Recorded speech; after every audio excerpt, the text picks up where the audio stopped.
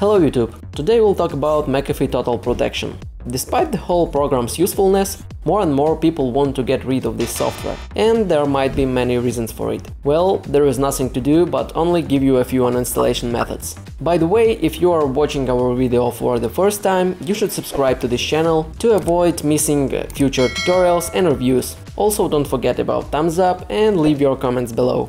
Let's move to the main part now. The first method is quite simple and obvious. We will remove McAfee Total Protection using basic Windows instruments. In this case, you need to click on the Start button, go to Settings and find the Apps tab in the opened window. After these actions, you will be automatically redirected to the Apps and Features tab. Use the search line to find the McAfee software and click on Install.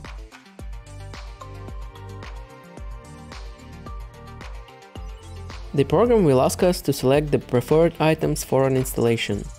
Mark the McAfee Total Protection and additional checkbox below to remove this software from your system completely. Confirm the removal process and wait for its finish. When everything is done, it's recommended to restart your PC. For some reason many people got a problem with the removal process because of the unclickable uninstall button used in the first option. Don't worry if you also faced this issue. Here is a special solution. Use the WinR combination. In the opened window, type regedit and click OK.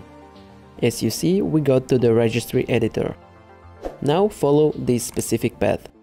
HK local machine, software, WOW64 blah blah blah, Microsoft, Windows, current version,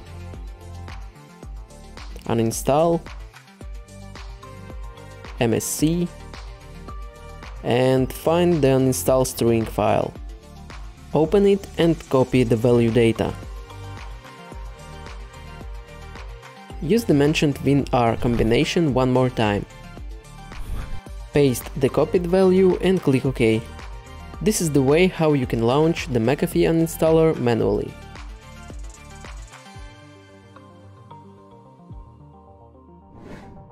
This option is suitable for those who don't want to use registry editor or other complex ways.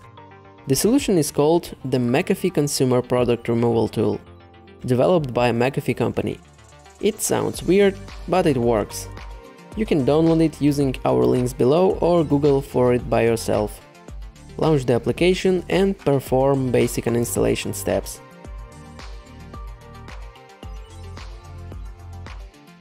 Agree with the user's license and enter the validation code.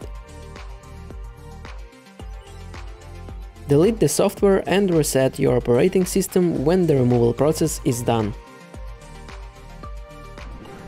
You can also use third-party programs as an option. For example, we take the free IOBit uninstaller to remove the McAfee Total Protection. Download link in the description as always. The main advantages of this option are simplicity and removal process safeness.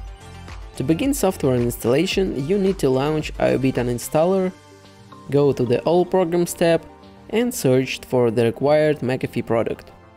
Mark the last one and click on install. It's recommended to use extra options like restore point creation and residual files auto removal confirm the process and perform standard uninstallation actions.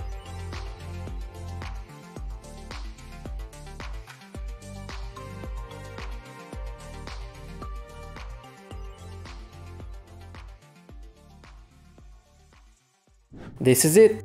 4 simple methods and only one result – successful McAfee installation. If this video was useful for you, join our YouTube community and push the like button. It will help to promote this video as well as help other people to get rid of this software. Thanks for watching and see you next time. Bye!